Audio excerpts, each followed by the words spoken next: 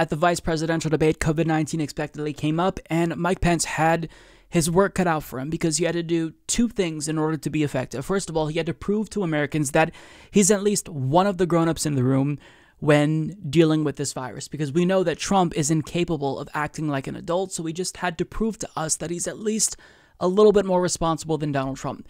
Second of all, he had to somehow defend what's effectively indefensible. He had to defend and explain himself to the American people as to why this administration, one, was untruthful about the severity of this virus, and why 210,000 Americans are dead on their watch. How you do this, I don't know. But before I show you what he had to say, this was the opening sequence of the debate, and this was the first question that Kamala was asked. You can tell by the way that she shreds him, it's going to be really difficult for him to try to save himself here because, again, this is difficult to defend something that's indefensible, but the way that she attacked him for bungling this pandemic, it really was brilliant. Take a look. What would a Biden administration do in January and February that a Trump administration wouldn't do? Would you impose new lockdowns for businesses and schools and hotspots? A federal mandate to wear masks? You have two minutes to respond without interruption. Thank you, Susan. Well, the American people have witnessed what is the greatest failure of any presidential administration in the history of our country. And here are the facts 210,000 dead people in our country in just the last several months. Over 7 million people who have contracted this disease. One in five businesses closed. We're looking at frontline workers who have been treated like sacrificial workers. We are looking at over 30 million people who, in the last several months, had to file for unemployment. And here's the thing on January 28th, the vice president and the president were informed about the nature of this pandemic. They were informed that it's lethal in consequence, that it is airborne, that it will affect young people, and that it would be contracted because it is airborne. And they knew what was happening and they didn't tell you. Can you imagine if you knew on January 28th as opposed to March 13th, what they knew, what you might have done to prepare. They knew and they covered it up. The president said it was a hoax. They minimized the seriousness of it. The president said, You're on one side of his ledger if you wear a mask, you're on the other side of his ledger if you don't. And in spite of all of that, today they still don't have a plan. They still don't have a plan. Well, Joe Biden does. And our plan is about what we need to do around a national strategy for contact tracing, for testing, for administration of the vaccine, and making sure that it will be free for all. That is the plan that Joe Biden has and that I have, knowing that we have to get a hold of what has been going on and we need to save our country. And Joe Biden is the best leader to do that. And frankly, this administration has forfeited Thank you, their right to reelection based on this. So she really did a good job right there. I think that that's effective. I think that's going to land. And I was a little bit worried when she, you know, she was asked basically, what would you do differently? And I was worried that she was taking too much time pointing out what Donald Trump did wrong. But she did actually land on some solutions and she didn't spend as much time on that. But the way that she presented it made it seem as if, oh, well, the solution actually is pretty simple. We need contact tracing. We need uh, to make sure we do more testing. And these are things that Trump says he's doing. We have more testing than any other countries. But I mean, you keep talking, you keep saying that you're doing all of this stuff, but we're seeing cases spike again 40,000 new cases a day, 45,000 new cases a day, 210,000 deaths. So the solution, it isn't that complicated. Kamala Harris, I think she did a great job at explaining how you failed and why it's really not that difficult. You just need a serious person to get in there and uh, fix it. So, you know, that right there, if people tuned in just for like the first 10 minutes of the debate and then tuned out and all they saw was that, Kamala Harris is coming away looking really good. Now, if they saw this, Kamala Harris is coming away looking even better because Mike Pence tried to defend himself and he came off as smug and fake. And what he says is honestly just embarrassing.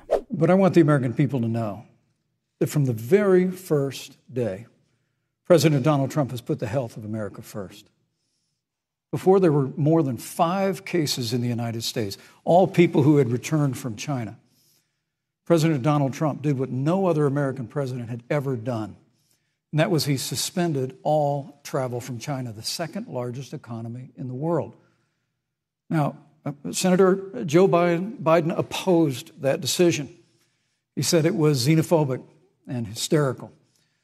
But I can tell you, having led the White House Coronavirus Task Force, that that decision alone by President Trump bought us invaluable time to stand up the greatest national mobilization since World War II. And I believe it saved hundreds of thousands of American lives. Because with that time, we were able to reinvent testing. More than 115 million tests have been done to date. We were able to see to the delivery of billions of supplies so our doctors and nurses had the resources support they needed. And we began really before the month of February was art to develop a vaccine and to develop medicines and therapeutics that have been saving lives all along the way. And under President Trump's leadership, Operation Warp Speed, we believe will have literally tens of millions of doses of a vaccine before the end of this year. The reality is, when you look at the Biden plan, it reads an awful lot like what President Trump and I and our task force have been doing every step of the way. I mean, quite frankly, when I look at their plan that talks about advancing testing, creating new PPE, developing a vaccine, um, it looks a little bit like plagiarism, which is something Joe Biden knows a little bit about. And I think the American people know that this is a president who has put the Thank health you, of America President. first, and the American people, I believe with my heart, can be Thank proud Vice of the sacrifices they have made. It's saved you, countless American lives. Senator Harris, would you Oh. like to respond? Absolutely. Uh, whatever the vice president is claiming the administration has done, clearly it hasn't worked. When you're looking at over 210,000 dead bodies in our country, American lives that have been lost, families that are grieving that loss. And you know, the vice president is the head of the task force and knew on January 28th how serious this was. And then, thanks to Bob Woodward, we learned that they knew about it. And then when that was exposed, the vice president said, when asked, Well, why didn't y'all tell anybody? He said, Because the president wanted people to remain calm. Well, let's get So I, no, but Susan, I, this is important. Susan, I- I, and I I, want to to add, but if. Mr. Vice President, I'm speaking. I have to I'm weigh in. speaking. yeah, you So can have I- I- 15 I more wanna- seconds, and then we'll give the vice president a chance to So I want to ask the American people how calm were you when you were panicked about where you're going to get your next roll of toilet paper? How calm were you when your kids were sent home from school and you didn't know when they could go back? How calm Thank were you. you, Thank when you, your Senator children Harris. couldn't see your parents because you were afraid they could kill them? Let's give Vice President Pence a chance to respond. Vice President Pence, you have one minute to respond. You respond. know, there's not a day gone by that I haven't thought of every American family that's lost a loved one. And I want all of you to know that you'll always be in our hearts and in our prayers. But when you say what the American people have done over these last eight months hasn't worked, that's a great disservice to the sacrifices the American people have made. The reality, if I may, if I may finish, Senator, the reality is Dr. Fauci said everything that he told the president in the Oval Office, the president told the American people. Now, President Trump, I will tell you, has boundless confidence in the American people, and he always spoke with confidence that we'd get through this together. But when you say it hasn't worked, when Dr. Fauci and Dr. Birx and our medical experts came to us in the second week of March, they said if the president didn't take the unprecedented step of shutting down roughly half of the American economy, that we could lose 2.2 million Americans. That's the reality. So I know that there is a lot of Donald Trump diehards in this country, but even they probably could sense that that was a bullshit answer. That was a horrible answer. So, first of all, he defends himself by saying, or implying rather, that they would have been more competent than Joe Biden because they instituted the travel ban from China, which, you know, Joe Biden said was xenophobic. Now, here's the thing, and I wish that Kamala Harris would have pointed this out. You knew about the severity of COVID 19. Kamala Harris and Joe Biden did not. So forgive everyone else for expecting Trump to just act in a reactionary manner and not really do what is reasonable or logical and just, you know, try to ban people from entering the country. You already have a Muslim ban on the books. So it's like, Are we really that unreasonable, especially if we don't know how severe this is? But you do. I mean, you could have been upfront with us and say, look, this is airborne. This is a lot worse than the common cold or the flu, so we have to take these precautions. But you didn't do that. So to just say, well, we did the China ban, that isn't sufficient. Like, that doesn't make you look good, especially because you had complete information and everyone else had incomplete information. It actually makes you look worse because if that's all that you did, I mean, I, I just can't see how he thinks this is going to land. On top of that, uh, he brought up plagiarism. He says, Well, look, your action plan looks pretty similar to ours. Looks like it was plagiarized, and Joe Biden wouldn't know a thing or two about plagiarism. Now, as I stated in my full debate breakdown, yes, Joe Biden uh, was humiliated before when he ran for president because he was busted plagiarizing speeches. Uh, but you're clearly trying to divert attention away from you and attack Joe Biden. But here's the thing right now I don't give a flying fuck about that in the face of COVID 19. Like, if we're having a conversation within the context of like who's more trustworthy, then maybe you bring up the plagiarism thing. But to bring up plagiarism just randomly and take that pot shot while you're talking about a serious issue where more than 200,000 Americans have died because you have bungled it, I mean, the average person is going to think, I don't care if he's a plagiarist, so long as he actually handles this virus so my life can return to normal. Like for him to just shoehorn that in, it was out of place, it was off putting, and it's just a bad look because you are the one who's supposed to defend yourself. And Kamala's not a plagiarist, so what is she supposed to say to that? You're not even saying this to Joe Biden. So it just it came off horribly. And I think that Kamala Harris responded in a way that was sufficient. She said, Look, whatever you guys are doing, if we're copying your plan, it hasn't worked. And on top of that, you were the head of the task force. So why are we seeing so many deaths? So he just, there was no way that he was able to back himself out of a corner and, you know, to say all of these wonderful things about how, oh, we love the American people, we respect the American people. It's not enough. But the worst moment by far of this exchange was when he misconstrued Kamala Harris's argument deliberately. And he said, you know, when you say that the American people, what they've done hasn't worked, that's just insulting. And I'm paraphrasing, but anyone who's watching sees that it was obvious Kamala Harris was not saying, oh, the American people are terrible at handling this pandemic. She was referring specifically to this administration. When she says, you've bungled COVID 19, why would you extrapolate and think that she is talking about the American people. The American people don't have power in this situation. You have power. You're in control. You're in the White House. You've got the Oval Office. Why are you the ones that are fucking up? It's not the American people. You're fucking up.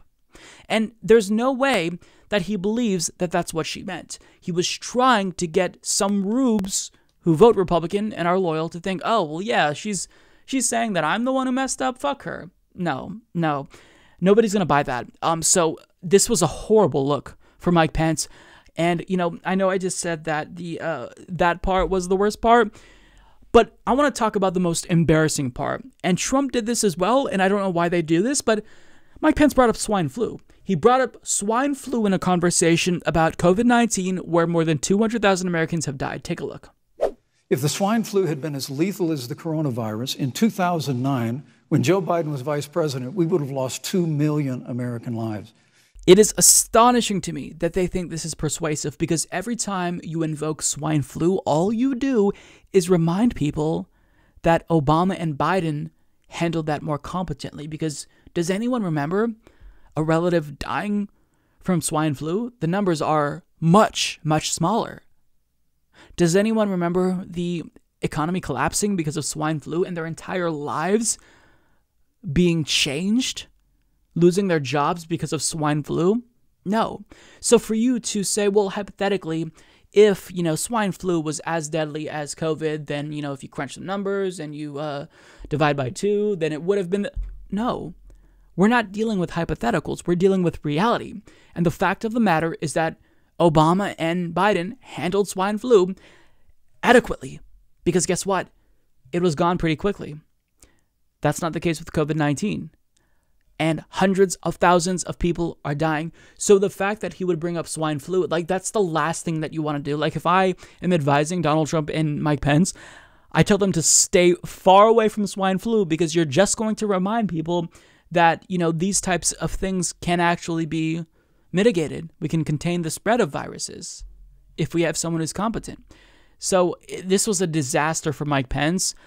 And this is why I think, you know, largely coming away from this debate, even if Mike Pence wasn't as bad as a debater uh, as Donald Trump, not like even bad in terms of debating people. Like, I think that Trump probably just turned off more people. Mike Pence is a better debater than Donald Trump.